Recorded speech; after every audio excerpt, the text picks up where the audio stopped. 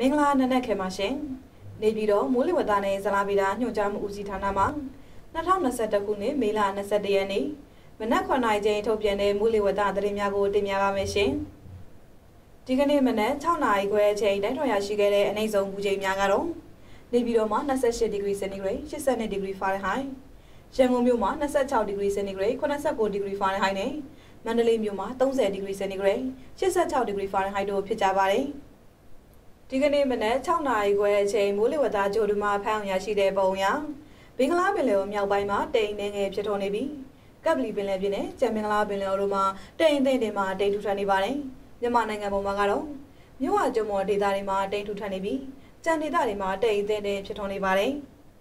ဘင်္ဂလားပင်လယ်ရောခြေနေမှာဘင်္ဂလားပင်လယ်မြောက်ပိုင်းမှာတိမ်နေငယ်ဖြစ်ထွန်းနေပြီးကပ်ပလီပင်လယ်ပြင်နဲ့ကျန်မင်္ဂလာပင်လယ်တို့မှာတိမ်သိမ့်တင်မှာတိမ်ထူထပ်နေပါတယ် မြန်မာပင်လယ်ပြင်မှာလိုင်းနဲ့ငယ်မှာအသင်တင်ရှိပါမယ်။လိုင်းမြန်မာမြန်မာကန်အိုရန်တရှောင်းနဲ့ကန်လိုပင်လယ်ပြင်တို့မှာ၄ပေမှ9ပေခန့်ရှိနိုင်ပါတယ်။ဒီကနေ့ညနေစီခံမှန်းချက်အနေနဲ့ကတော့တနင်္လာရီတိုင်းစာကြီးမှာနေရာအနှံ့ပြကချင်ပြည်နယ်ရှမ်းပြည်နယ်ကရင်ပြည်နယ်နဲ့မွန်ပြည်နယ်တို့မှာနေရာစိတ်စိတ်စကိုင်းနယ်ဒေသကြီးထပ်ပိုင်းချင်းပြည်နယ်ရခိုင်ပြည်နယ်အေရရီတိုင်းဒေသကြီးရန်ကုန်တိုင်းဒေသကြီးပဲခူးတိုင်းဒေသကြီးနဲ့ ကယားပြည်နယ်တို့မှာနေရာကျကျနေစကိုင်းတိုင်းဒေသကြီးအောက်ပိုင်းမန္တလေးတိုင်းဒေသကြီးမကွေးတိုင်းဒေသကြီးနဲ့နေပြည်တော်တို့မှာနေရာကွက်ကြားမိုးထိတ်ချုံရွာပြီးတနင်္လာရီတိုင်းဒေသကြီးမှာနေရာကွက်ပြီးမိုးကြီးနိုင်ပါတယ်